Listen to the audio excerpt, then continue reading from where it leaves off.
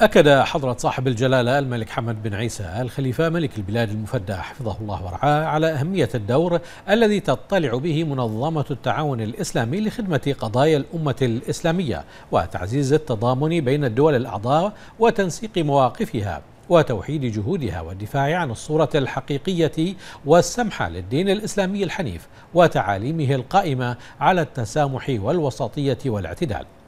جاء ذلك خلال استقبال جلالة العاهل المفدى في قصر الصافرية هذا اليوم لمعالي الدكتور يوسف بن أحمد العثيمين الأمين العام لمنظمة التعاون الإسلامي وذلك للسلام على جلالته بمناسبة زيارته للمملكة.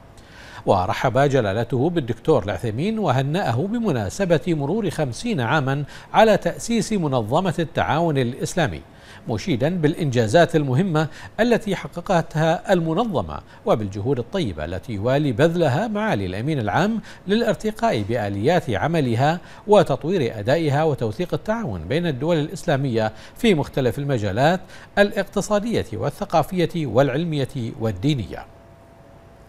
وأكد جلالة الملك المفدى دعم مملكة البحرين ومساندتها وتأييدها للمنظمة والتزامها بمبادئها النبيلة لتواصل دورها في تعزيز العمل الإسلامي المشترك تحقيقا لأهدافها وخدمة لمصالح دولها الأعضاء وشعوبها الشقيقة.